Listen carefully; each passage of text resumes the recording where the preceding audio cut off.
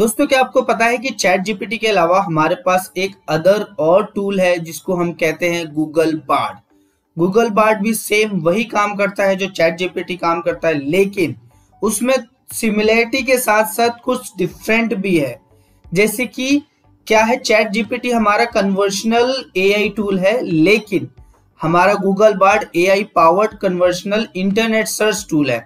ये इसका एक टाइप ऑफ़ प्लेटफॉर्म डिफरेंट है दोनों के बीच में। प्लस जो चैट जीपीटी ओपन ए ने लॉन्च किया है और ये लैंग्वेज मॉडल है। ठीक है, उसके बाद जो हमारा गूगल बार्ड है, वो गूगल लैमडा के बेस पर बना हुआ गूगल बार्ड है। ठीक है, और डाटा सोर्स क्या है हमारा?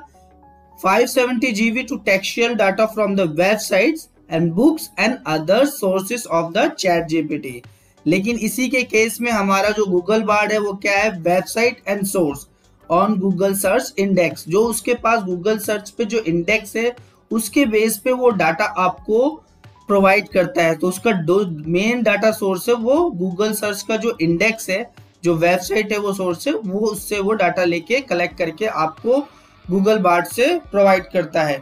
प्लस जो नॉलेज है, जो लिमिटेशन है, जो कह सकते हो कि चैट जीपीटी के पास है अभी लेकिन उसके प्रीमियम सेक्शन में वो अब लिमिटेशन हट चुका है, जहाँ तक मुझे पता है।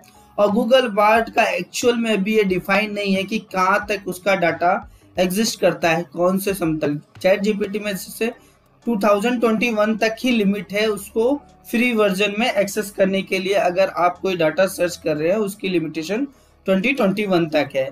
अवेलेबिलिटी क्या है? जनरली अवेलेबल है फ्री और पेड दोनों ही अवेलेबल है चैट जीपीटी में। लेकिन अभी गूगल बार्ड की तरफ़ से ऐसा कुछ भी नहीं बताया गया है कि इसकी अवेलेबिलिटी क्या है।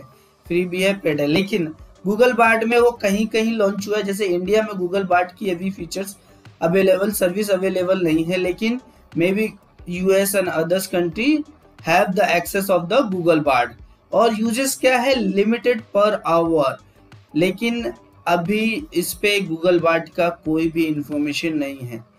I hope this video is helpful to you to understand the what is the difference between the chat gpt and the google bard. And really these are the two big competitor in the world right now in the ai based tool